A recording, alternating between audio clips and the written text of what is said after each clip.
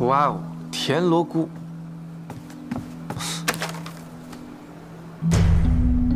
胖苏，伯母来啦。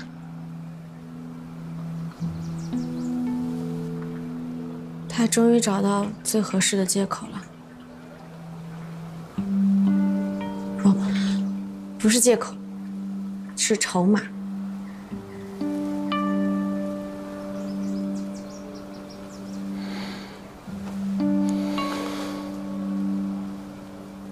伯母还真是严谨啊，这种事情都要专门拟一份合同。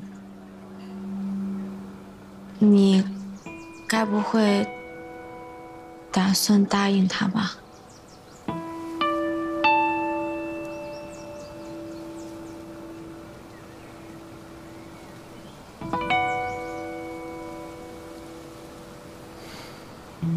黄甫爵，你真的要跟我分手？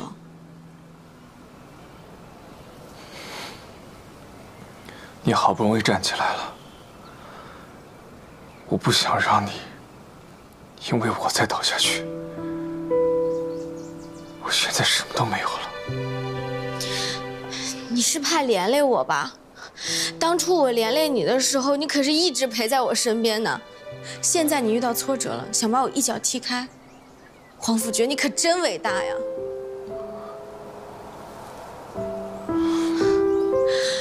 如果你是为了黄甫集团要跟我分手，我没有二话。但是如果你怕连累我要跟我分手，我是绝对不会让你签这份协议的。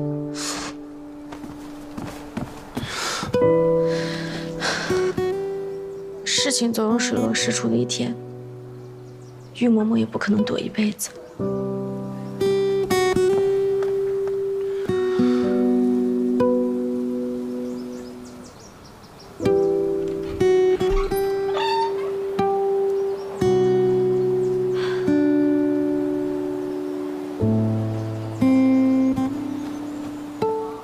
李记者，哎，唐小姐，来了，我现在可以接受你的采访了。那太好了，你等一下啊。好，可以开始了。嗯，之前网上的传言呢，其实都是假的。我跟黄甫爵只是一对平凡的情侣，我们的生活稳定而美好，更不会因为任何莫须有的事情而分开。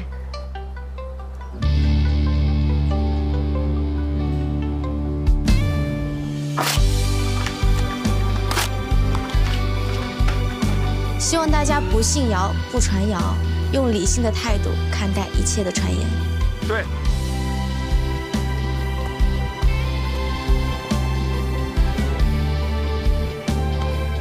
谢谢大家的关心我们现在生活的很好。快点拍下来。我来吧